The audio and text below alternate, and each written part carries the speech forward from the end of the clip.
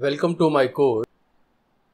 In this course, first you will learn what is Apache Superset and you will get a quick overview of Apache Superset. Then you will see a command line installation method in which you will install OS dependencies. You will create the Python virtual environment. You will install Superset. You will initialize database.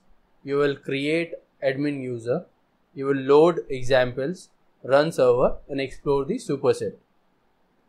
Then you will create some of the visualizations like filter, bar chart, pie chart, time series line chart, time series stack chart, partition diagram, tree map, big numbers with trend line and you will add to the dashboard while creating the visualization. You can also create dashboard by drag and drop method which is shown in the video.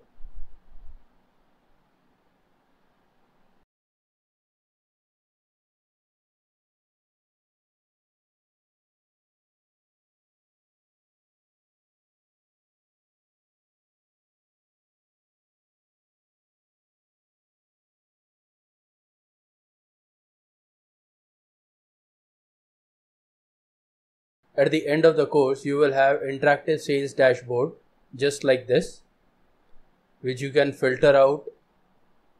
You can interact with the individual charts. You can make into the grouped or stacked bar chart. You can interact with the pie chart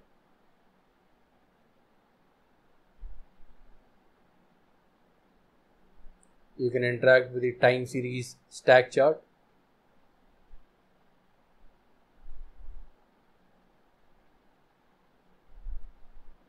You can drill into details with partition diagram.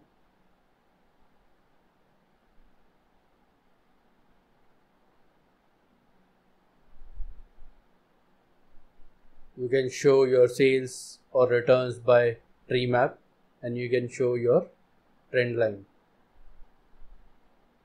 Thank you.